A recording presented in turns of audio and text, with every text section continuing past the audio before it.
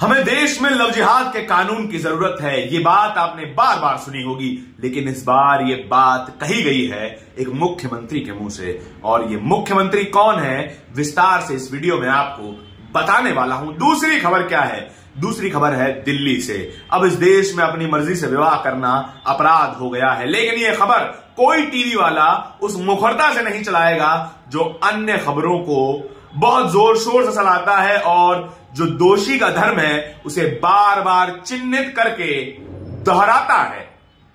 ऐसा क्यों है? पूरी खबर में विस्तार से आपको बताने वाला हूँ। उससे पहले तीसरी खबर सुनिए। तीसरी खबर है बीजेपी के एक और बागी मंत्री के बारे में। बीजेपी के एक एक करके मंत्री सभी बागी होते जा रहे हैं। ऐसा क्यों है? क्योंकि सत्ता डगमगा रही है और बीजेपी इनको बर्दाश्त क्यों कर रही है? विस्तार से आपको बताऊँगा। नमस्कार, मेरा नाम है धारण यह है मेरा खास कार्यक्रम, जहाँ मैं आपको दिन की तीन सबसे बड़ी खबरें बताता हूँ। सबसे पहली खबर, हेमंत विश्व शर्मा, एक मुख्यमंत्री, असम के मुख्यमंत्री, वो कह रहे हैं कि हमें देश में लव जिहाद के कानून की ज़रूरत है। लव जिहाद है क्या? इस शब्द का असल मतलब क्या है? अगर इन लोगों की माने, या फिर हेमंत विश्व शर्मा की माने तो वो है एक मुस्लिम पुरुष, एक हिंदू महिला से यदि प्रेम करे, उससे शादी करना चाहे तो वो लव जिहाद हो जाता है।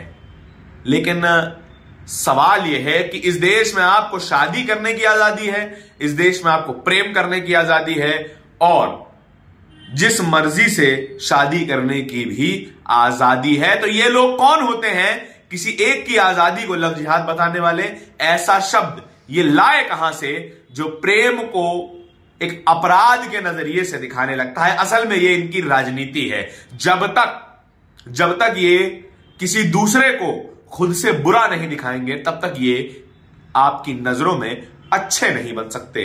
इसीलिए ये एक धर्म विशेष को टारगेट करके, सीधे शब्दों में कहूँ तो मुसलमानों को टारगेट करके अपनी राजनीति चमकाना चाहते हैं। ये जो बयान आया है हेमंत शर्मा, विश्व शर्मा का, वो पिछले दिनों हुई दिल्ली की घटना के बारे में, जहाँ पे एक मुस्लिम युवक ने अपनी गर्लफ्रेंड की हत्या कर दी थी, उसको कई टुकड़ों में काट के जंगल में फेंक दिया था। और इस खबर को लगातार टीवी चैनलों ने चलाया भी, और बार बार ये कहा जाने लगा कि मुस्लिम युवकों से सावधान रहे हिंदू महिलाएँ।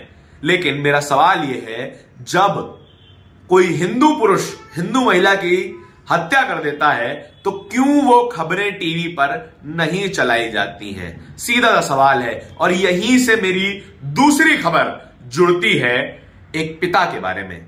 वो पिता जिसने अपनी बेटी की हत्या कर दी एक माँ के बारे में, जो पिता के द्वारा बेटी की हत्या किए जाने के बाद लाश ठिकाने लगाने में अपने पति की मदद कर रही थी, और उस लड़की का कसूर सिर्फ़ इतना था कि उस व्यक्ति उस लड़की ने अपनी मर्ज़ी से एक पुरुष से शादी की थी। महज इतना है। लेकिन ये खबरें आपको टीवी मीडिया पर नहीं दिखाई देंगी, क्योंकि पुरुष भी हिंदू है, महिला भी हिंदू है, और उनकी बेटी भी हिंदू है। जब हिंदू ही हिंदू का कत्ल करे तो फिर किस तरीके का खबर बननी चाहिए? क्यों खबर नहीं बननी चाहिए? सीधा सा सवाल है। पिता को जब जैसे ही पता चला कि उसकी बेटी ने अपनी पसंद के लड़के से शादी की है तो लड़की को गोली मार दी और यमुना एक्सप्रेस वे पर उसकी लाश फेंक दी। आगरा पुलिस ने इस बात का पता लगाया और लड़की के पिता और माता को दोनों को अरेस्ट कर लिया है। क्यों ये खबरें नहीं चलाई जाती हैं? इस देश में रोज़ाना महिलाओं के खिलाफ अपराध होते हैं। चाहे वो बलात्कार की घटना हो, चाहे वो हत्या की घटना हो, छेड़छाड़ की घटना हो, क्यों ये खबरें नहीं चलती हैं? और क्यों वो खबरें तुरंत चल जाती हैं जिसमें दोषी कोई मुस्लिम युवक होता है, दोषी कोई दलित युवक होता है, दोषी कोई एसटी या ओबीसी युवक होता है? क्यों ये खबरें नहीं चलती हैं, ये मैं आपसे जानना चाहता हूँ। तीसरी खबर क्या है? तीसरी खबर है, बीजेपी के बागी मंत्री और बिहार के पूर्व राज्यपाल सत्यपाल मलिक। आजकल बीजेपी में काफ़ी सारे नेता बागी होते जा रहे हैं। काफ़ी सारे नेता जो है, उल्टे स्वरों में बात कर रहे हैं। मोदी जी को चुनौती दे रहे हैं। सबसे पहले सुब्रमण्यम स्वामी वो बताने लगे कि मेरी हत्या होने वाली है। नोटबंदी के समय कितने बड़े घोटाले हुए। वे इतने साल से चुप थे, लेकिन अब वे बोलने लगे हैं, सत्यपाल मलिक, पिछले कई दिनों से, कई दिनों से जब से किसान आंदोलन चल रहा है, तब से उनके बागी स्वर दिखाई दे रहे हैं और वे बीजेपी को बार बार कह रहे हैं, सुधर जाइए, आपके दिन लद जाएँगे। इस बार वो क्या कह रहे हैं? सत्यपाल मलिक कहते हैं कि इंदिरा गांधी तक की सरकार नहीं रही। जिन्होंने एक छत्र राज किया था भारत के ऊपर तो आपके दिन बदलने में भी देर नहीं लगेगी। संभल जाइए, ज़्यादा नुकसान नहीं हुआ है।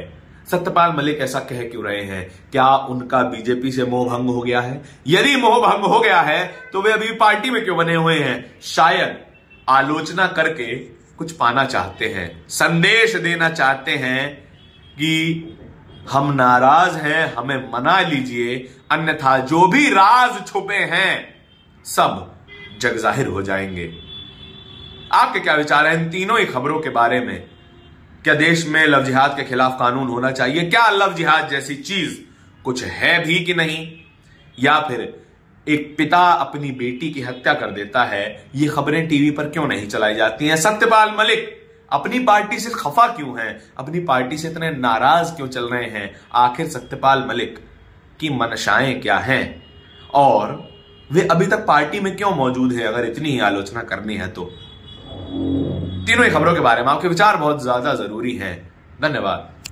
नेशनल दस्तक की आपसे गुजारिश है कि अगर इसको बचाना चाहते हैं तो नेशनल दस्तक को सब्सक्राइब करने के लिए रेड कलर के सब्सक्राइब बटन को दबाएँ, फिर बेल आइकन की घंटी दबाएँ नेशनल दस्तक को बचाने के लिए बहुत ज़रूरी है कि हर खबर को शेयर करें लाइक करें कमेंट ज़रूर करें।